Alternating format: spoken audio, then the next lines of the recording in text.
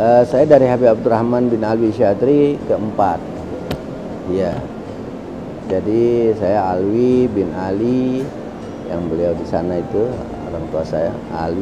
Saya Alwi bin Ali bin Alwi bin Abdurrahman bin Alwi. Lokasinya tempatnya di Kampung Bandan ya.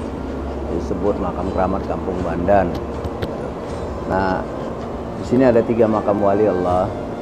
Ya, yang dua itu lebih dulu ada lebih awal ya, di abad ke abad abad ke 17 uh, eh, yang pertama ini Habib Muhammad bin Umar al Qudsi kemudian yang di tengah itu yang satu zaman yaitu Habib Ali bin Abdurrahman Ba'alawi.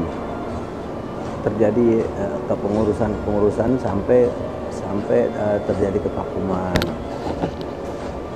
akhirnya uh, Habib Keramat Empang Bogor Habib Abdullah bin Muksin Al Abbas beliau uh, menceritakan bahwa beliau selalu didatangi sama dua wali Allah uh, dan minta supaya ada yang penerusnya yang yang sekaligus mengurus kedua makam dia gitu.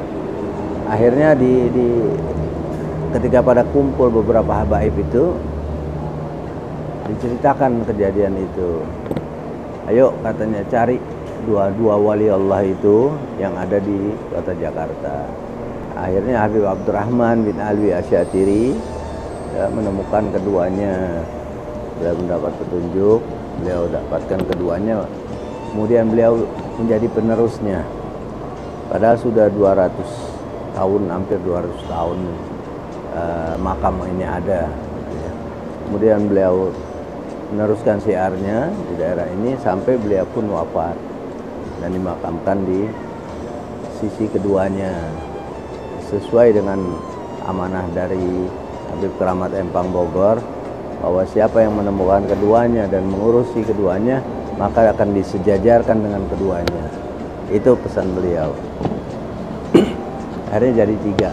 Dan Habib Abdurrahman itu uh, kemudian mem membeli uh, tanah di sekitar sini uh, untuk untuk dijadikan masjid di sininya ya. Selain untuk pendatang-pendatang yang ingin belajar ilmu apa kemari diutuskan sama Habib Abdurrahman bin Ali Asyadri. Uh, kemudian juga beliau uh, mendirikan masjid.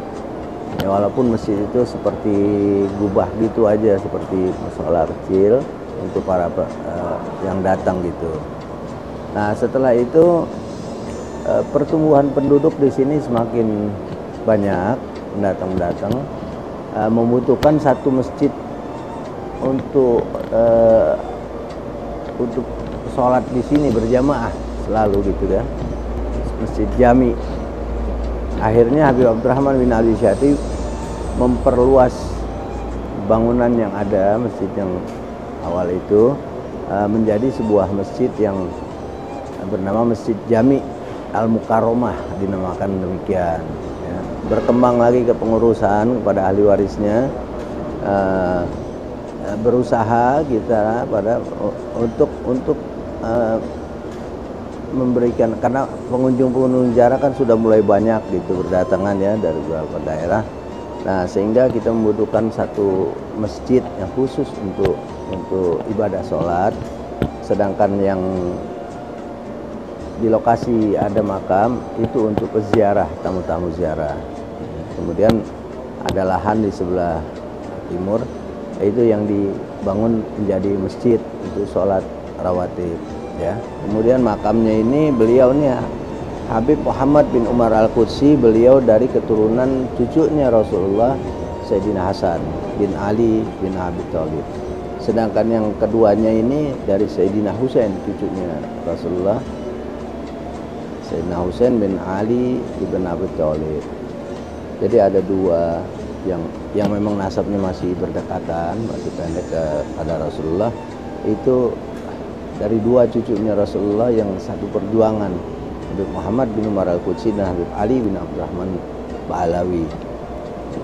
Beliau ini wafatnya aja itu di tahun Masehinya, di sini kan tahun Hijriahnya 1118 Hijriah 1118 Hijriah. Sedangkan yang di tengah Habib Ali bin Abdurrahman Ba'alawi wafat tahun 1122 jadi terpaut 4 tahun wafatnya beliau. Jadi diyakini bahwa keduanya ini uh, syiar Islam bersama. Jadi yang pertama renovasi tahun 1000 1979 jadi 1979 18 eh, 1980 kemudian yang kedua itu termasuk peninggian lantai dan eh, peninggian atap bangunan tanpa merubah eh, bentuk aslinya. Itu tahun 1900 eh, 90 89 90 ya nah, kemudian yang terakhir renovasi di 2000 2001 itu yang terakhir. Jadi tiga kali dari dari pemerintah daerah